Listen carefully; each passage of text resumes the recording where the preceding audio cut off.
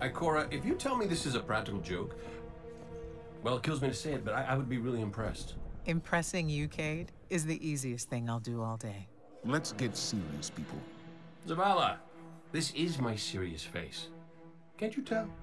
Ikora, what have you got? Someone or something has sabotaged the Skyline defense systems. And comms have been spotty for the last few hours. Every sensor beyond the wall has gone dark. Maybe it's just the storm. Maybe it's...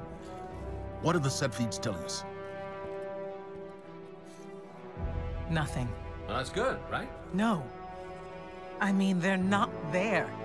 There are no satellites. And that's not good.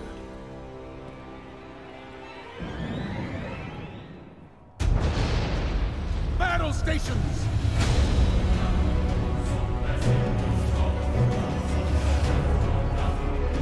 One with me.